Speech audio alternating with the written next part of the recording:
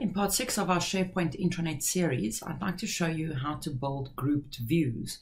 So remember, we've built lookup lists for metadata, five different apps. And the apps that I have on my intranet right now is a document library, I have an FAQ list, and I have a um, gallery. So what I'm going to do is I'm going to navigate um, to those apps and we'll go and build the first basic grouped views on these apps.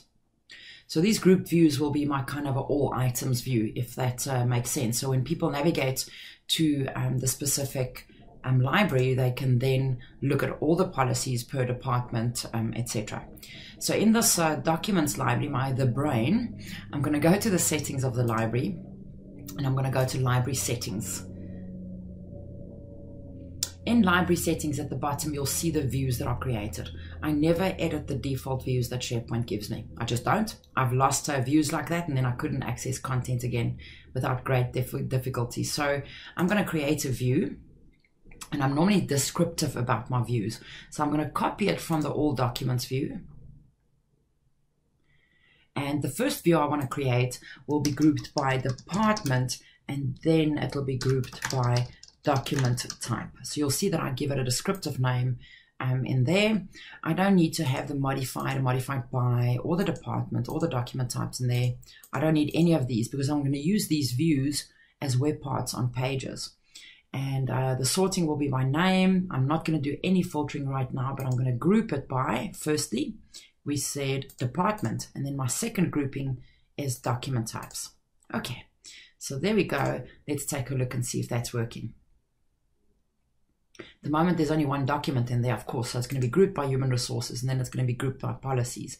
I'm going to create another um, grouped view while I'm here. So I'm going to go back to library settings and uh, scroll down. I'm going to create another view and I'm going to copy it from that department document type view and I'm going to swap it the other way around.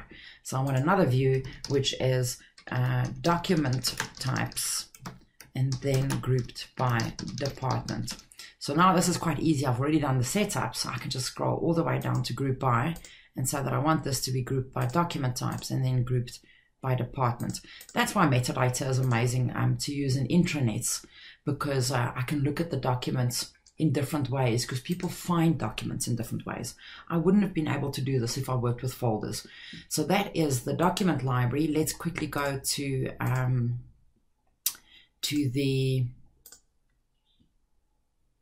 FAQs and we'll do the same there. In the FAQs, I've actually worked um, just with the department column, remember? So I'm going to group it by, so I'm going to say create view. And in this one, I'm going to say copy it from all items. So um, I'm going to just call this grouped by department.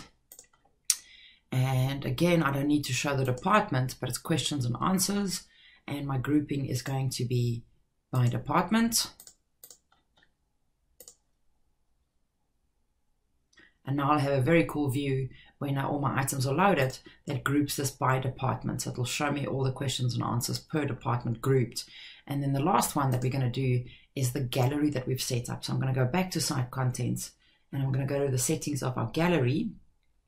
I called it eyeballs apparently.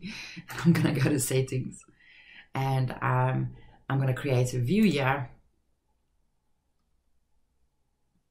And I'm going to copy it from all documents I'm going to call this um, grouped by events. I don't have to show all of this modified event I don't have to show and I'm going to group it by event.